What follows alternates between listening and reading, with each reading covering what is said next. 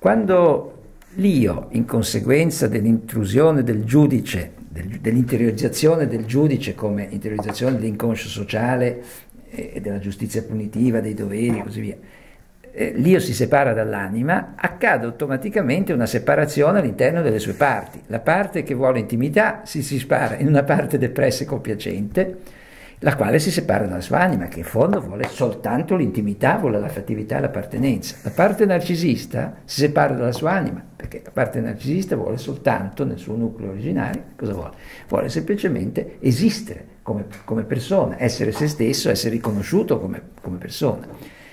Il giudice si separa dalla sua anima, perché la sua anima sarebbe il discernimento. Nel momento che giudica moralmente, si separa dalla sua anima. E il suo nucleo animico, appunto ripeto ancora, è il discernimento. Eccolo qua, lo vediamo come vettore di forza, quindi l'io si frantuma, finisce in una parte depressa, in una parte giudicante e in una parte narcisista. Ecco allora il lavoro. Il lavoro da fare è un lavoro di integrazione. Posso integrare ciò che è integrabile, non posso integrare una parte depressa.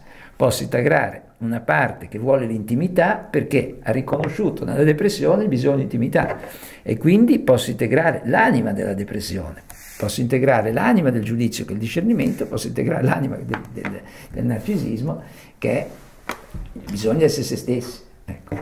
Allora l'integrazione può avvenire nel momento in cui avviene un'integrazione delle parti interne.